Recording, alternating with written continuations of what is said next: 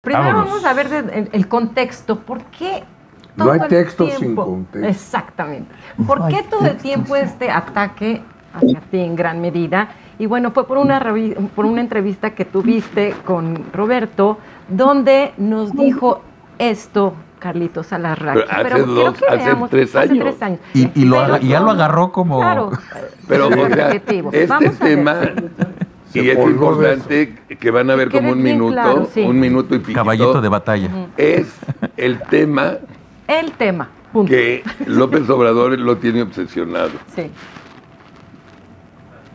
Yo tenía, como no me contrató nadie, así que lo puedo decir con una tranquilidad, yo tenía la solución a nivel de mercadotecnia. Esta campaña no se gana con, publicidad, se gana con propaganda. Y mientras más mentiras des contra Morena, mejor te va. O sea, las mismas mentiras que hace Andrés cuando era oposición, las mismas.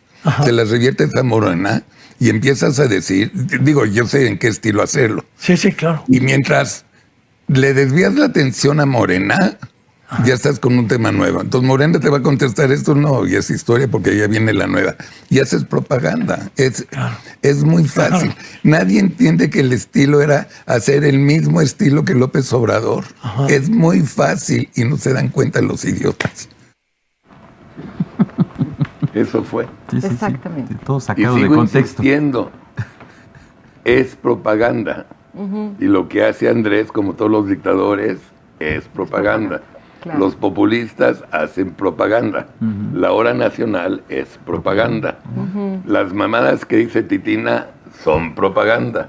Entonces, no se pierdan y ya no hablo. Vamos a ver. es propaganda. El, que los, el que los 40 mil millones van a alcanzar claro, para el, fondo. Es propaganda. Si hay 10 millones y les tienes que pagar 16 mil pesos mensuales, son 160 mil pesos mensuales. Claro. O sea, no, es propaganda. propaganda. Bueno, entonces este tema de las afores ha sido un tema que ha desquiciado a toda la 4T. Incluso, bueno, se defienden como gato boca arriba, o sea, todos los días están haciendo cosas y diciendo para, para tratar de ganar esta parte, ¿no? El pasado 17 de abril, o sea, la semana pasada, se mencionaron y se atacaron a varios medios, entre ellos, pues obviamente a ti, ¿no? Y eh, quiero que se fijen, voy a empezar con Vilchis. Qué mujer. Mm. De, verdad, de verdad. hace mucho, no, hace mucho hice una cápsula que ha sido de las más vistas también sobre el tono, el sonsonete que tiene esta señora, su voz aguda. ¿Y cómo, y cómo, y cómo cansa su tipo de voz, porque además se ha empoderado. Eso está cañón. Sigue tartamudeando igual sigue titubeando igual. Yo no entiendo cómo lleva dos años, señora. O sea, llevamos dos años ya saliendo cada semana y sigue igualita. Le mal, tartamudea, eh, no sabe ni qué decir. O sea, se le acaban las palabras. Hasta suspira. Es que, ¿de, de veras. O sea, qué horror, ¿no? Bueno, quiero que se fijen en esto, como eh, incluso ya maneja cierto estilito para manejar su desdén, como dice, en casi todos los medios. O sea, pero ¿cómo lo dice de esta manera tan irónica? Pero yo creo que no. No le sale lo irónico. No le sale. Cuando no nos sale, no nos sale, no hay manera, ¿no? Entonces quiero que se fijen. Entonces se va a atacarte a ti en primer lugar.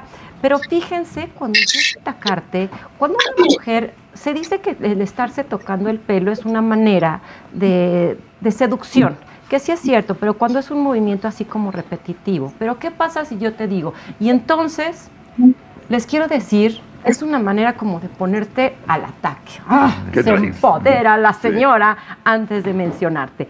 Y, pero no nada más a ti, sino a un gran número de reporteros. Vamos a empezar a ver esto. Porque medios de comunicación y opinadores comenzaron a lanzar una campaña de mentiras sobre la reforma enviada por el Ejecutivo Federal en casi todos los medios de comunicación. Casi todos los medios de comunicación.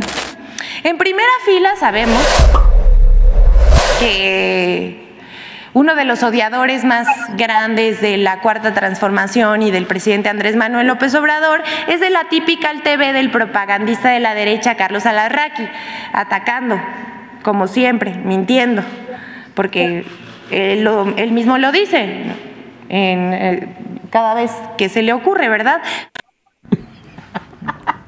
Y con su falta de elocuencia y su sonsonete infantil agrega esto. Vamos a verlo. Conductores de Radio Fórmula también con entrevistas a modo llamando aberración a la reforma de pensiones y que es un robo. Otros dicen también ahí en Radio Fórmula, en todos sus, en todos sus eh, noticieros.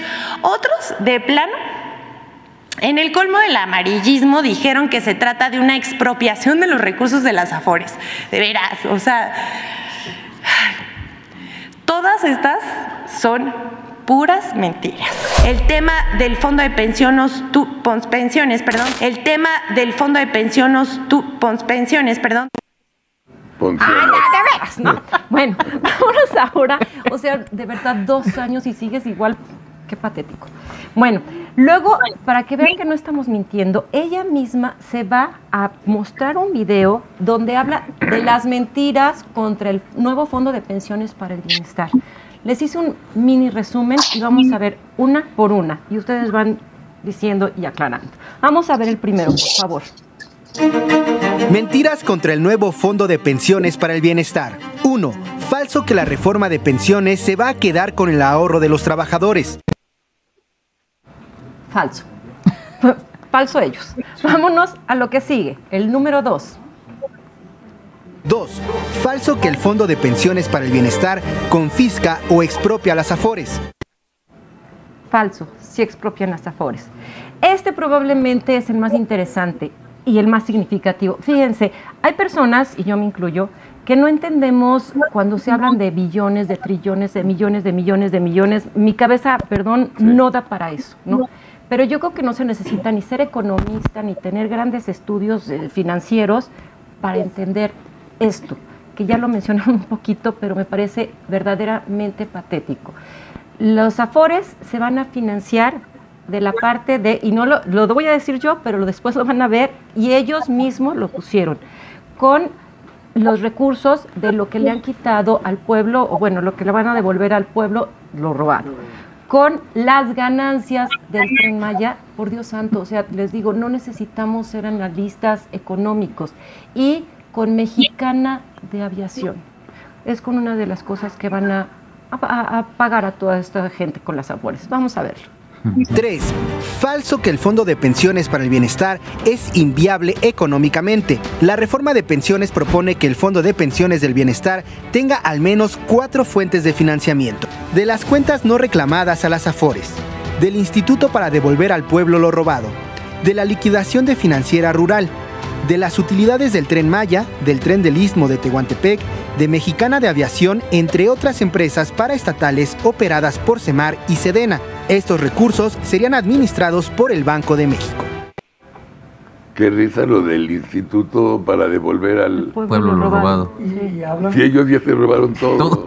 del 70% del financiamiento de esto. Vendría del fondo este del, del instituto de devolverle al pueblo lo robado. Imagínate. Y de, dos estas rifas y, cosas que han hecho. seguramente. No, alcanza el 60%. Fondo sin fondo. De las ganancias de Roberto, dos no alcanza ni 10 dólares. No tienen 10 dólares ellos del fondo. Exacto. Es propaganda. Exactamente. Otra y nos vamos al cuarto punto que ellos mismos mencionan. Ellos dicen que no es una iniciativa electorera. A ver, yo les pregunto, eh, ¿desde cuándo le dio el bastón de mando a Claudia Sheinbaum? Como dos años, ¿no? En septiembre del 2023. En septiembre del 2023 le dio el bastón de mando. Desde ese momento, obviamente, todo lo que ha estado haciendo, si no es que desde antes, han sido cuestiones electoreras. Y nos sale con que esto no es una cuestión electorera, por Dios, fueron al mismo tiempo cuando empezó a sacar todas estas reformas que quiere hacer a la Constitución. Vamos a ver cómo nos los mencionan también. 4. Falso que sea una iniciativa electorera. Las elecciones del 2 de junio de 2024 no tienen relación alguna con el paquete de reformas presentado por el presidente López Obrador. Creo que es un insulto a la inteligencia de los mexicanos. De verdad sí es molesto que nos digan todo esto. Bueno, termina, gracias a Dios, de hablar la tartamuda y entonces regresa al podio AMLO. Empieza a hablar este señor, ¿no? Y entonces AMLO también, pues, te menciona, ¿no? Pero quiero empezar a explicarles cómo llega a ti. ¿Cuál fue la pregunta que le hizo el reportero? Porque ya sabemos que siempre la pregunta no tiene que ver con... El presidente había ido a Río Blanco, Veracruz, en enero del de este año, ¿no? Y entonces le pregunta el reportero, primero lo halaga, lo alaba y le dice que gracias que fue y que bueno, que fue, fueron los más felices. Y le dice que si el lugar en donde estuvo en Río Blanco lo pueden hacer canchas de básquetbol y pueden hacer un museo. Esa fue la pregunta. Pero entonces... Del periodista. Del periodista. En Río Blanco. Entonces empieza a echar un rollo y dice, bueno, yo que fui en enero, hable de las pensiones, ¿verdad? Y él, mete las pensiones y pues nos vamos para acá. Bueno, primero nos vamos para otros y después nos vamos para contigo, ¿no? Entonces, y según él sigue siendo sin... No era... ¿Cómo? En enero iba a ser algo electorero para que vean cómo mienten los otros, ¿no? Entonces, quiero que veamos, eh, a ver, déjenme ver aquí que vamos a ver. Ah, se echa uno de sus reyes, desvía el tema, lo de las pensiones, y quiero que se fijen cómo este, cuando dice que no tiene que ver con cuestiones electorales. ¿Qué hace cuando dice esto? Este, mueva, ah, muestra un movimiento pacificador, que ya lo hemos dicho muchas veces. No son cuestiones electorales y empieza a acariciar el podium. Esto es muchísima inseguridad y también nos habla de que no está diciendo y no está siendo del todo sincero. Vamos a verlo, por favor. Han querido distorsionar algo que es en beneficio de los trabajadores ¿Cuál beneficio, Roberto? Exactamente. ¿Cuál beneficio? Sabe que está Robarte tu dinero, ¿cuál beneficio? Hace no mucho se hizo viral, ahorita voy a decir por qué lo estoy mencionando, un video de Claudia cuando dice transformación o corrupción y se autoseñala. Vamos a verlo. Luis Potosí. Transformación o corrupción. Nos estamos señalando, pues nuestro lenguaje corporal es corrupción, ¿no? Pues ahora Que es la segunda vez que hablas de corrupción. Exactamente. Fíjense, aquí está increíble porque hace lo mismo el presidente. Cuando dice del dinero de las pensiones, dice, literal, si el fondo fuera para... ¿Para quién es? Pues para ti, papacito, ¿no? Y se lo autoadjudica. Además, Vamos a ver la pausa porque después no sabía ni qué inventar para y el cínico es que de verdad es que es cinismo. Dice, si fuera para obras, todo el dinero que sea autoadjudicado ha sido para obras. Pues entonces sí nos podrían decir, no estoy de acuerdo. A ver, se lo hemos dicho dos millones de veces, no estamos de acuerdo con las obras que hizo, pero no ha servido para nada. Vamos a verlo. Sin este afectar a los trabajadores, al contrario, para beneficio de los trabajadores. Si el fondo fuese para construir una obra,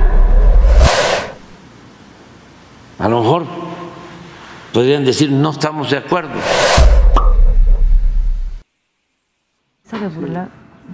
Podríamos decir no estamos de acuerdo y se acaba riendo como diciendo, me vale gorro lo que hayan dicho, lo que no hayan dicho. Es un cínico, de verdad cada vez está peor. Bueno, empieza atacando, no, aquí, ah, diciendo, sigue diciendo que es una mentira, pero vean el coraje que tiene al mencionarlo. Además, se rasca de abajo del ojo con el pulgar y lo hace hacia, hacia adentro. Esto nos muestra muchísima irritación. Vamos a ver. Espérame, todo eso es en la pregunta de poner un museo en Río Blanco. Claro, claro. sí. Entonces es eh, lo más absurdo y la verdad mentiroso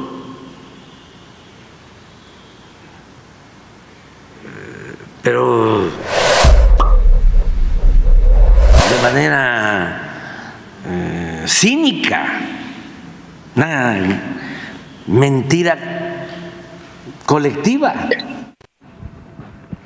Empieza primero atacando a López Dóriga, no primero te ataca a ti. Primero empieza atacando a López Dóriga y dice lo que faltaba, del tuit que él puso, que lo que faltaba de expropiar al gobierno las pensiones de 45 millones de trabajadores que tienen en las Afores.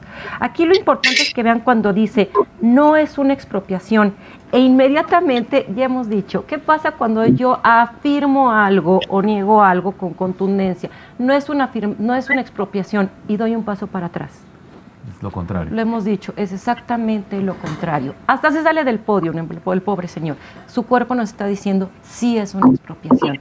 Además, nos dice, están muy enojados, o sea, nosotros los conservadores, corruptos, neoliberales, etcétera, estamos muy enojados, según él. Y de lejos vamos a ver cómo se tapa la mitad de la cara. ¿Cuándo nos tapamos la mitad de la cara?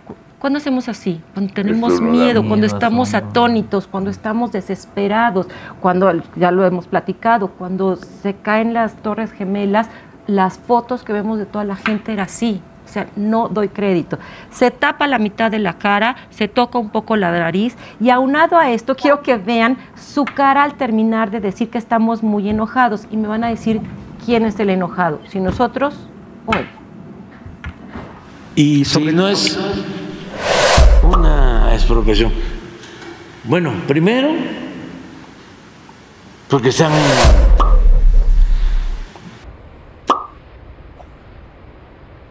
muy enojados. El enojado es usted. Y bueno, después ah, se va a atacar a Ciro, menciona a Loret, y entonces después de un rollo ya se va contra ti. ¿Pero qué crees? No se acuerda cómo te llamas. Está bien. Otra vez ya no se acuerda. Qué padre. O sea, su memoria ya ni siquiera ya le dijo Alaraki. Fíjate qué fuerte, porque no, o sea, ya no se acuerda nuevamente. Pero esto, y quiero que te fijes, Carlitos, como cuando empieza a mencionarte a ti, cuando no se acuerda de tu nombre, la cara de repulsión que tiene, o sea, sí, sí le causas un problema muy fuerte. la culpa de este, Todo es culpa de, de este señor. Como dijo ¿Y yo por qué? Un día comiendo me dice, ¿sabes por qué no te soporta López Obrador? Dije, no, porque eres el único irónico que se burla de él. Y no puede, no puede. Dice, él puede, puede agarrar, como me dijiste, cara a cara, pero irónico lo mato, ¿no? No lo maneja No puede. no, lo soporta. No, puede. Vamos a verlo. No solo es una cuestión que eh, defienden intereses económicos, es también eh, el enojo. Eh, la doctrina, ¿cómo se llama el señor ese que dice que hay que mentir y mentir y mentir? La doctrina de la la Raki. ¿Se fijan cómo ni siquiera lo dice? Lo dicen con la boca entrecerrada. ¿Cómo se llama este señor? Es, una rabia contenida y continúa con sus difamaciones. Vamos a ver. ¿Qué es la que se está aplicando ahora? La doctrina a la Raki. Este, mentir, mentir, mentir, mentir, mentir. Muy chistoso.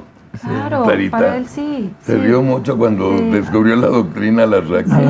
Y, se ríe. Dice, puta, acabo de inventar algo chingón. Ajá. Y ahorita trae un chiste que lo repitió como cuatro veces en la mañanera, que ahorita hace mucho calor.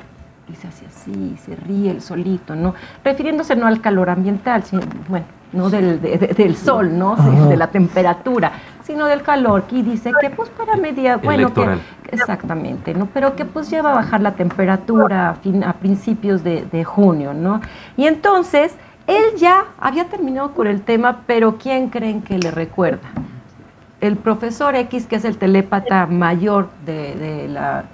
De la, Jesús. El profesor X eh, en, este, en el mundo Marvel es el mayor telépata pues para mí Jesús Ramírez es un telépata, le adivina siempre qué video. ya sabe Entonces el profesor X le pone el video, ¿no? Entonces aquí lo mismo, ¿no? Entonces él ya va a acabar de hablar del tema y moles eh, a la Jackie. Recuerda, o sea, el apuntador. Vamos a verlo. Ya para finales de mayo empieza a refrescar. Este, a principios de, de junio. Sí. Este, ya empieza este, a refrescar. Pero ahorita va a haber calor. Y ¿Eh? No, digo, eso es lo de la Raki, que sobre las afores. Es el, ah, es el este, programa que hizo. Él es. Es una. Es ah. una broma, ¿no? Sí, sí. O sea, eh, ah, un presidente de la República que no lo es, pero es un presidente de la República, hablando de estas pendejadas, o sea, ¿en, qué, en dónde está el cerebro de un presidente? la, ¿Te imaginas a Biden? ¿Te imaginas a Trudeau? ¿Te imaginas a Bukele? ¿A quién me ¿A quién quieres? Bueno, pero nadie lo oye. No importa, pero pues obvio que lo oyen, es públicamente. Sí, bueno, pero no lo oyen. o sea, yo lo puse textual en mi libro. A mí nadie me dice que te, mencionó en la mañanera. Nadie. Vas a un restaurante a donde quieras. El día de la, de la que habla de mí, nadie me dice, oye, hablaron, no lo oyen. A ver, 18 años, lo pongo en mi libro, queriendo ser presidente para terminar peleándose en la mañanera con Chumel. O sea, hello, la verdad es que nos está hablando, ¿no? Y, bueno, cuando le quedan Cuatro meses. Sí, explícamelo más eso. Y bueno, viene la estocada final de su agresión, que ahorita la vamos a complementar, donde pues te compara con, vamos a ver. O sea, es la, la doctrina Larraqui. Mentir, mentir, mentir. Y pensar que esto lo usó Goebbels. A ver, ya para finalizar, vamos a ver, hace un poquito más de un año hice una cápsula donde te había atacado, fue cuando te dijo hitleriano. Y estábamos de vacaciones en Navidad, etcétera. No fue una cápsula muy vista, pero queda perfecto, a la perfección, para que la gente entienda esto de Goebbels. Y aquí vamos a ver realmente qué es la propaganda y en qué se basa y en qué se basó Goebbels y pues, que te diga a ti esto siendo que pues ellos lo tienen como un librito. Vamos a verla, por favor. Quédate conmigo porque hoy les compartiré frases que surgieron de una mente irracional y enferma. Hace unos días escuchamos a AMLO diciendo que Alasraqui es como hitleriano. Aseguro que a muchos nos encantaría saber cuáles son los argumentos para esta afirmación tan absurda. AMLO mencionó en la mañanera una frase que tal vez todos habíamos escuchado. Una mentira repetida mil veces se transforma en verdad. No hay mentira más grande que esta.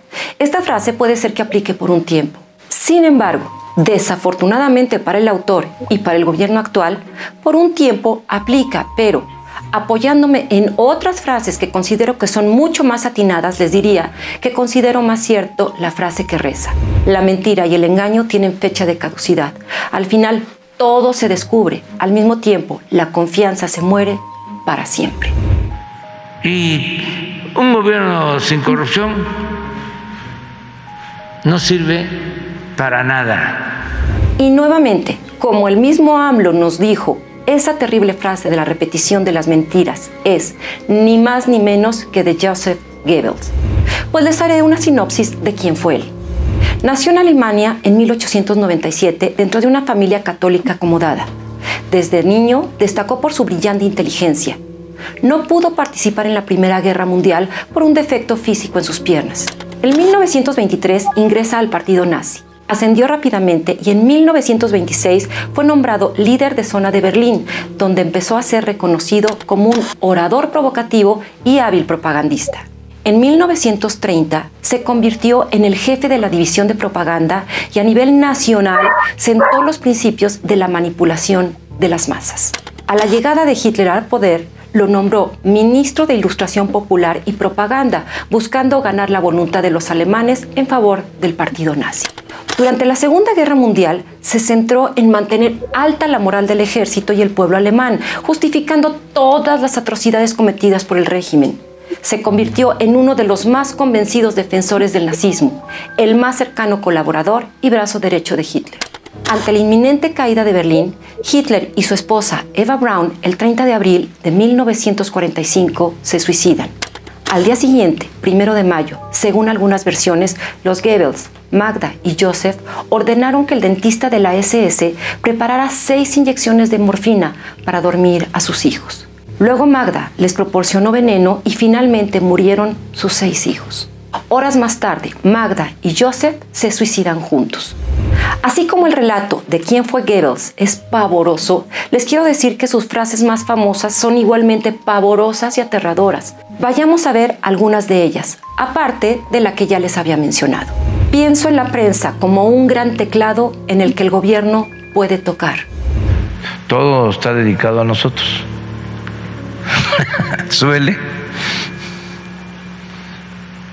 Revira ministro Cosío hablo no entiende, qué terco es.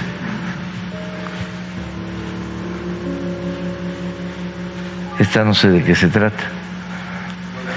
Ah, AstraZeneca. ¿Está qué? Ah, estamos actuando de manera irresponsable. Muy bien. Este se aclara porque están desatados los de la prensa FIFI. Cargar sobre el adversario los propios errores o defectos, respondiendo el ataque con el ataque. Como también estoy esperando que lo de Mola, ¿no? ¿Y cómo se llama el gran periodista de investigación que hizo el reportaje de que yo este, les di contratos, Pemex. Bueno, pero tuve que haber dado yo la orden, ¿verdad? ¿Cómo se llama la empresa? ¿Eh? Baker. Baker. Este, les di bastante contrato ahí, ¿no? Te di la orden para que le dieras contrato porque quería yo que le rentaran una casa. Este, a mi hijo, ¿no? En, en Houston. Entonces, estoy esperando todavía que este periodista tan eh, profesional, con tanta ética, este, ofrezca disculpa. Y estoy esperando también que Carmen Aristegui haga lo propio. Si no puede negar las malas noticias, inventa otras que las distraigan. Para que ya no haya eh, el cambio de horario. Ya la semana próxima. ¿Al Senado o a diputados? A cualquiera de las cámaras, pero la voy a enviar. Aunque no lo crean, otra frase textual de Goebbels. La culpa es del gobierno anterior. Hay que hacer creer al pueblo que el hambre, la sed, la escasez y las enfermedades son culpa de nuestros opositores y hacer que nuestros representantes se lo repitan en todo momento. Dicen, es que ahora hay más asesinatos que en la época de Felipe Calderón. Sí, nada más que nosotros recibimos los homicidios hasta la punta, hasta mero arriba. Y Calderón no recibió así el país. Ya lo llevó arriba y todavía en el gobierno eh, pasado le subieron más. Toda propaganda debe ser popular, adaptada. Sarita, Qué terrible. Es un gran trabajo. Un gran trabajo. ¿Quién resultó ser el hitleriano? y el gebeliano. y gebeliano. Sobre todo el no, Pero... No, y la más fuerte al final, que dice miente, miente.